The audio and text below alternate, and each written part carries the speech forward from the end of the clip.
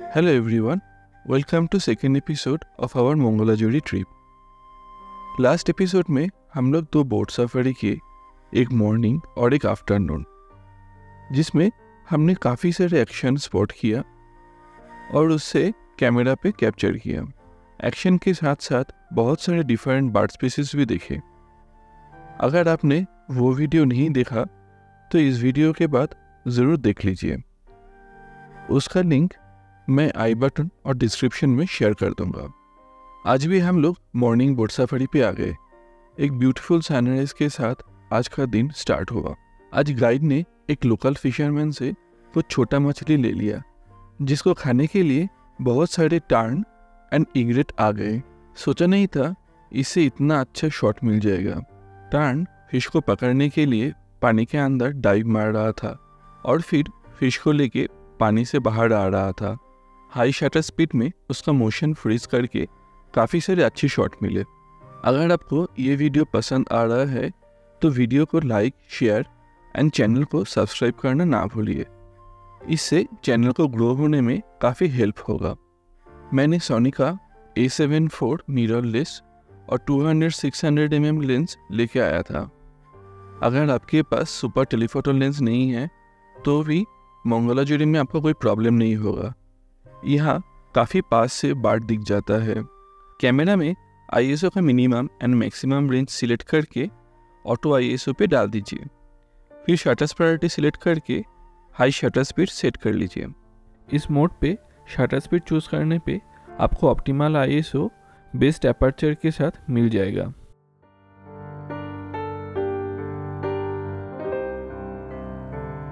Camera को burst mode and auto focus continuous पे रख लीजिए।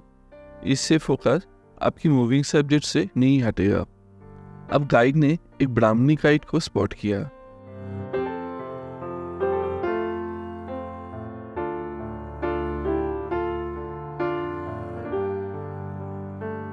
वो अपना ब्रेकफास्ट करने में बिज़ी था।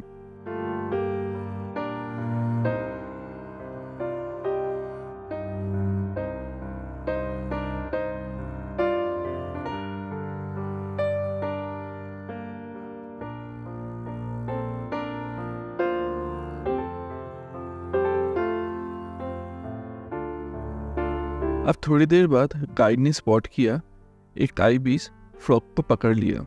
ये काफ़ी दूर पे था। हमें पहुँचते पहुँचते एक्शन ऑलमोस्ट कंप्लीट हो गया। एंड हम लोग पूरा पास भी नहीं जा पाए। यह मॉर्निंग साढ़े सात के बाद धूप तेज़ होना स्टार्ट होता है। इसीलिए आज हम लोग ये शेड वाला बड़ा बोट सफारी पे लेके आ गए। बड़ा होने के कारण यहाँ जो कि पानी शैलो है, वो क्रॉस नहीं कर पाए। दूसरा वाला स्मॉल बोट आसानी से यहाँ क्रॉस कर रहा था। क्या करे, हम लोग दूर से ही फ़ोटो लेने लगे। फ्रॉक के बाद दूसरा एक्शन भी स्टार्ट हो गया, उसके पास में। एक और आईबीस ने स्नेक पकड़ लिया।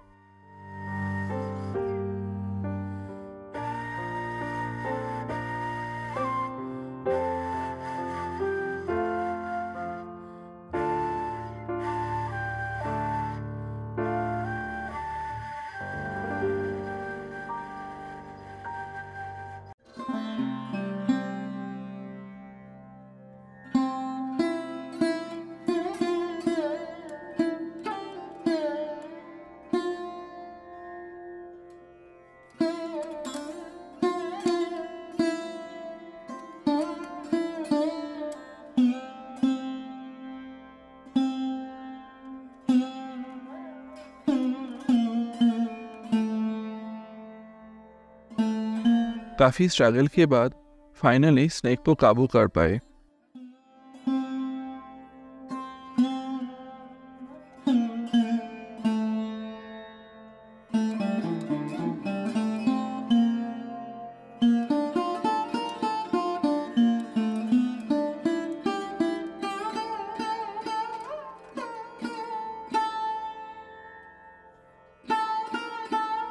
यहाँ एक हिरन ने भी स्नेक पकड़ लिया। और अब खाने की ट्राई कर रहा है। अब तो बहुत सारे आईबीज ग्रे एंड पार्पल हिरन को स्नेक खाते हुए देखा। हिरन को पहली बार देख रहा हो स्नेक पकड़ते हुए।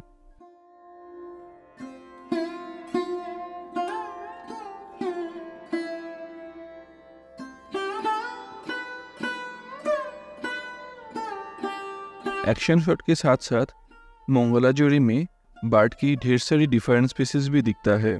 ये एक माइग्रेटरी बार्ड है ओरिएंटल कोल गाइड ने बोला, ये साइबेरियन बार्ड है, काफ़ी ब्यूटीफुल है ये.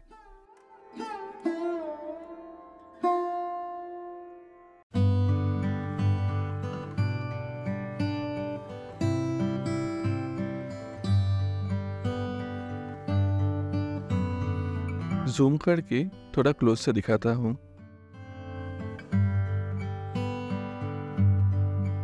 ये है रेडिशियल डक। इसे लोकली ब्राह्मणी डक भी बोला जाता है।